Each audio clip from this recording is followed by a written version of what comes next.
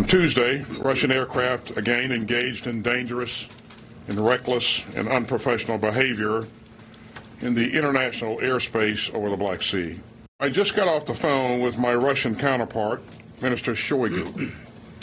As I've said repeatedly, it's important that great powers be models of transparency and communication.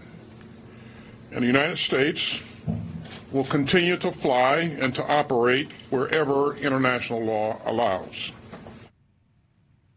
The risk of miscalculation is high, and this morning we are monitoring the growing tensions between the U.S. and Russia after this latest event in the sky.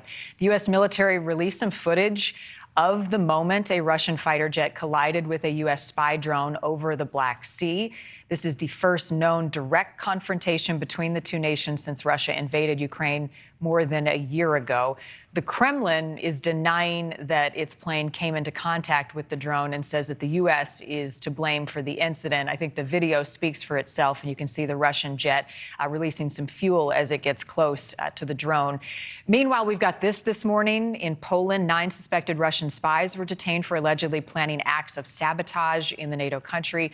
Poland's defense minister made that announcement this morning. Here to talk about both of these developing situations and the ongoing war in Ukraine, Paul Rieckhoff, national security and political analyst, also the host of the Independent Americans with Paul Rieckhoff.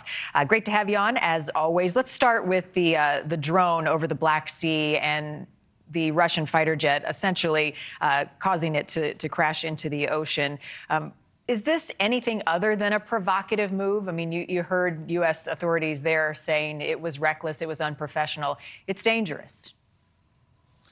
You know, Marni, I think it's a reflection of how high the stakes are and how interwoven not just the U.S. and, and Russia are, but so many other countries in the region Poland, Moldova. I mean, the, the, the, the idea that this won't spill over in the next couple of years I think is, is really wishful thinking because you've got so many different military assets in so many different places doing so many things.